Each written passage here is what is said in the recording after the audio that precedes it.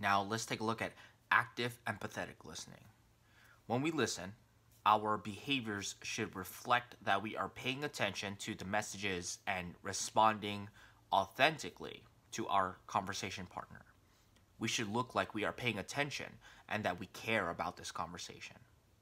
This involves quieting our own minds in exchange for being fully present in a moment and engaging someone else's messages. Unfortunately, we are not always very good at this, especially during a heated debate or pressing conversation.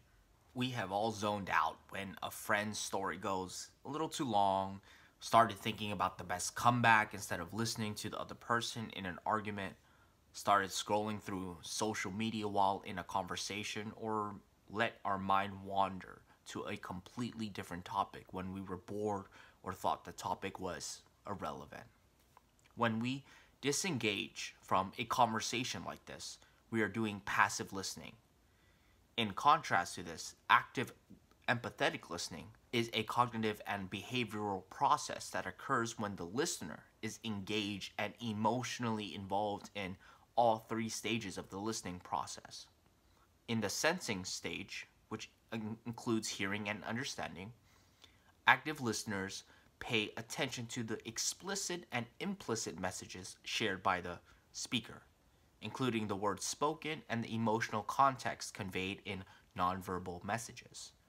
In the processing stage, which includes remembering and interpreting, active listeners focus on remembering what the speaker says, ask for clarifications when appropriate, and try to put together all of the verbal and nonverbal messages in a coherent, whole message that includes both the informational and emotional context or content.